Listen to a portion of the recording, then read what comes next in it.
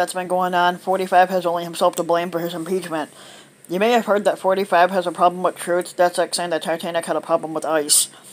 But with Wednesday's impeachment vote, Truth has ripped a great gash into the 45th presidency. It has taken on water fast. Rats are scurrying for higher ground.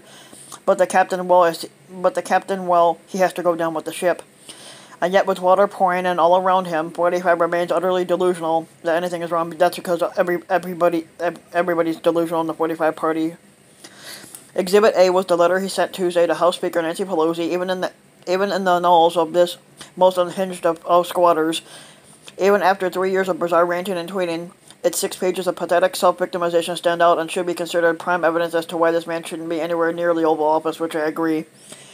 This has nothing to do with party and nothing to do with ideology and everything, but it has everything to do with the fact that I believe the squatter is unstable and mentally fit, and and um, and mentally unfit to serve, which is true. Speaking of Pelosi, when I read the letter, a line of hers from nearly a year ago came to mind. It's a temper tantrum by the squatter. Pelosi said, I'm a mother of five, grandmother of nine. I know a temper tantrum when I see one. I don't remember what she was referring to then, but it doesn't matter. We're dealing with a 73 year old man baby. What an embarrassment that, that is. What an embarrassment that is, the man who basically is supposed to represent our nation. How delusional is this guy? Even Tuesday, impeachment eve, 45's Roy Cohn inspired refusal to ever admit a mistake was on full display when CNN's Jim Acosta asked him if he takes any responsibility for anything. The squatter's response was zero. He does not take responsibility for anything he does.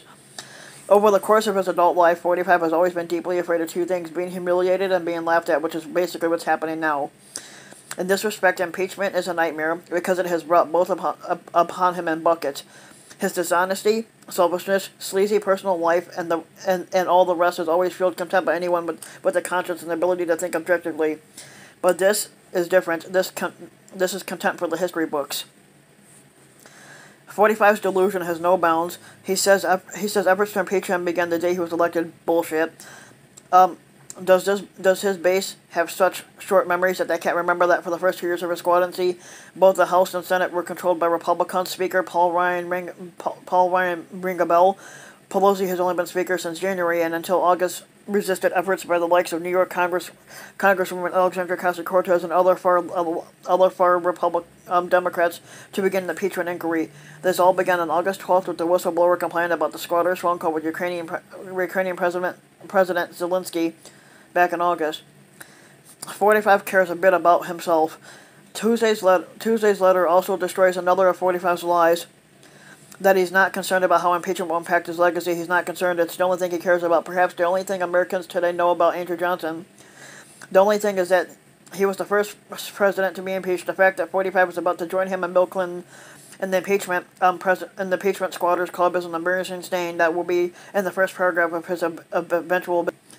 It will him forever, and like and like Johnson, who was impeached in 1868, I suspect that 100 years from now, when future generations think of 45, it'll be the very first thing that comes to mind, perhaps the only thing.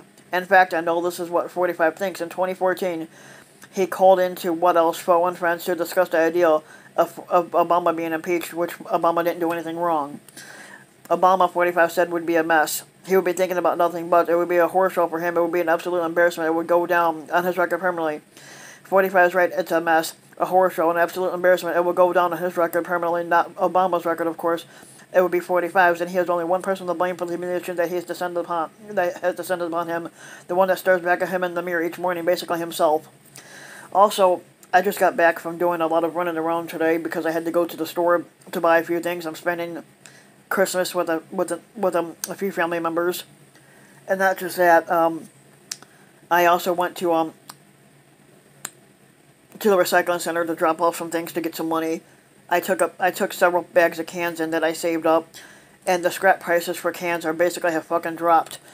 Basically, it was forty five cents a, a pound for cans if you took them in. Then it became thirty five. I just got back from the recycling center. They fucking dropped it really low. Now it's twenty five cents a pound for a, for a bag for a bag of cans. If it's if the bag of cans is one, it's fucking twenty five cents. I said that's fucking bullshit. Now I said, it, it, it, it's anything they do to fuck you over.